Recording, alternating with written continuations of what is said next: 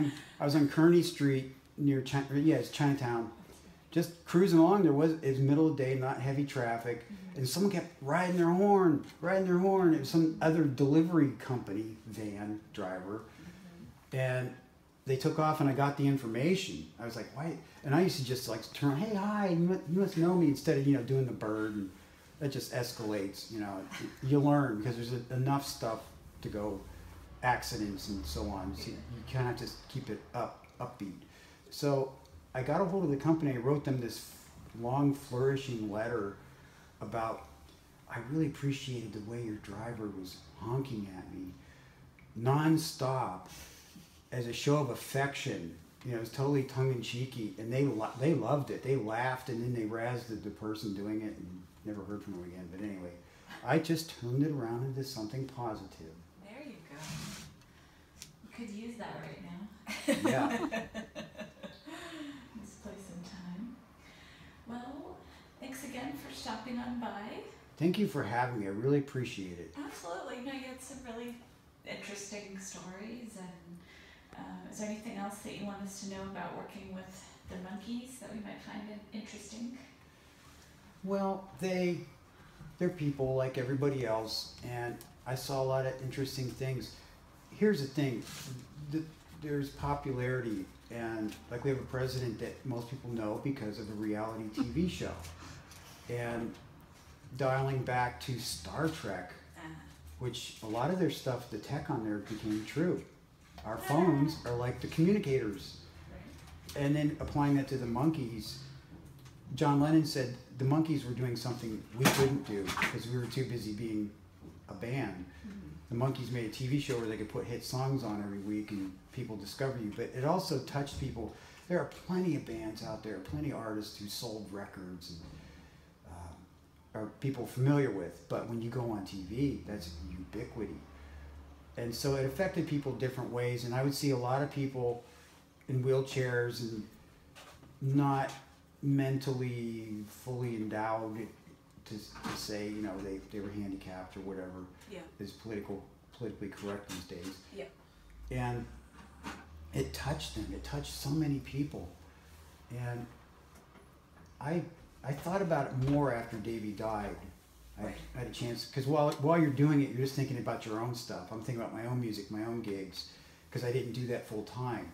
But at the same time, it was this wonderful runaway of opportunities and meeting people and uh, clearly everybody you work with introduces you to new people. Mm-hmm. and people that are obviously connected and established have those connections that go with it. So it was a pretty wonderful experience that way but just seeing how it touched people in a positive way.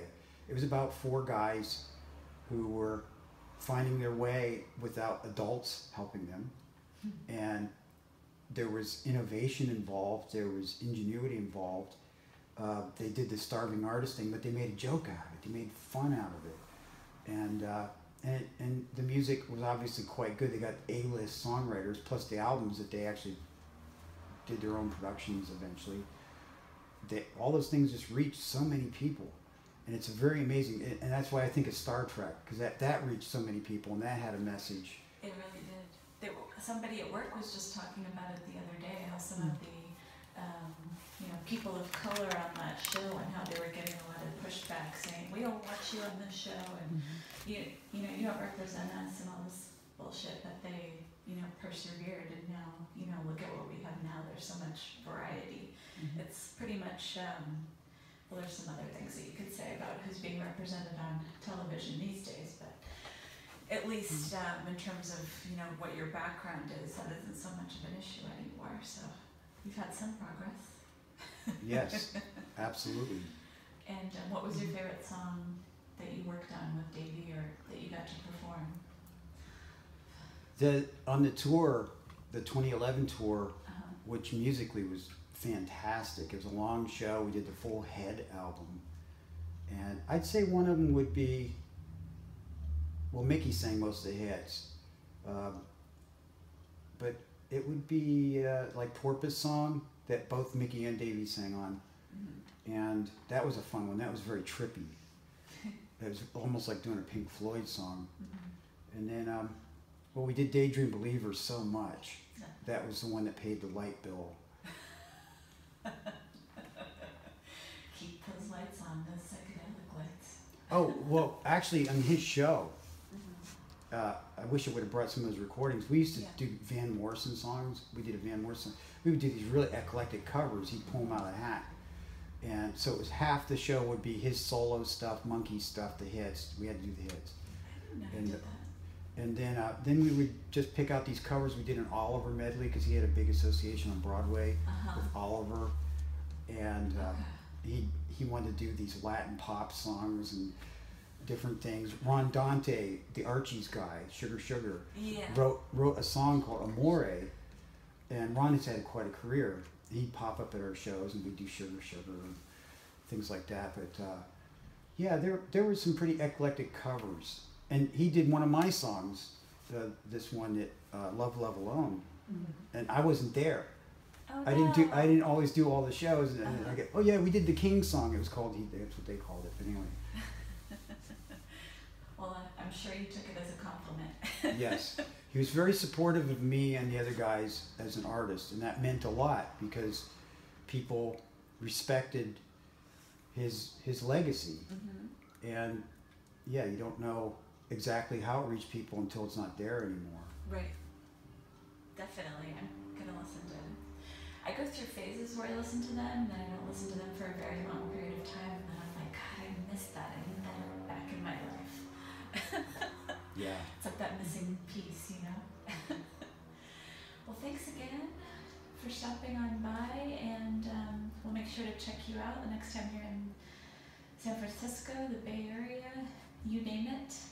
And then you're welcome to come again too if you want. Thanks. Thank you. There's my the thumb. more the merrier. It's been, I have to tell you, it's been kind of weird. I've been here seven years, and it's hard to get people to promote their projects in San Francisco now. I don't know what's going on. Oh, I'm I'm merciless about that. well, I mean, I'm not gonna I'm not gonna crash your wedding or your funeral or something, flashing oh, cards oh, around. But at the right moment, I I hear things. I hear people.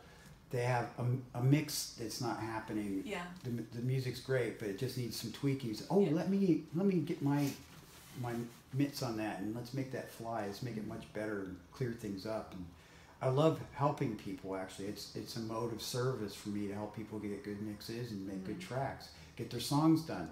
There's a lot of people out there too. Uh, more well, I guess it'd be any age, but I, it seems like, an example, I had a doctor who was turning 50 and he wanted to do his own Sergeant Pepper's. His sound, he played mandolin, hmm but he said he had some money and he said, let's do this. This is my legacy. This is something I want my kids to hear and say, yeah, my dad did this. And you had all these great songs. He wasn't going to go off and start touring. Musically, it reminded me of Jackson Browne a little bit, that, that type of stuff. Mhm. So I produced his album and we had a blast. And, you know, I had tubas and mariachi bass and all kinds of crazy stuff on there. So it was fun. Well, that sounds great. And you have those memories, and you're gonna continue to make more memories. So Yes, It's never ending, right? that's right. All right. Well, until next time, stay tuned for more Mutiny Radio.